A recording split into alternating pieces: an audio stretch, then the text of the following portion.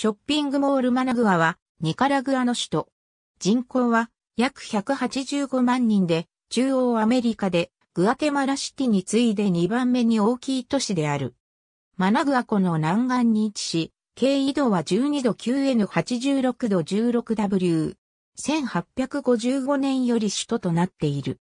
人種はメスティーソと白人で構成され、使用されている言語はスペイン語である。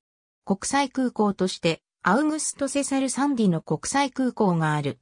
1857年、ウィリアム・ウォーカー率いるアメリカ傭兵隊によってグラナダが破壊された後、マナグアに首都が置かれた。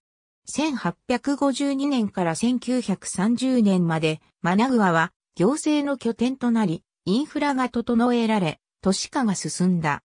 しかし、1876年と1885年に洪水に見舞われ、1931年には壊滅的な地震と大火に襲われ、町のほとんどが崩壊した。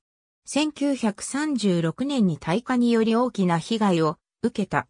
アナスタシオ・ソモサガルシア独裁政権下で、町は急速に発展した。新しい政府系の建物が建ち、産業が発展し大学が設立された。マナグアは中米で最も発展した町となった。1972年12月23日の巨大地震により町の90%が崩壊し、19,120人が亡くなった。この地震によりダウンタウンの再建は放棄された。ベターイムディテール、クリーマドットン。2012年7月19日閲覧。プロフィール。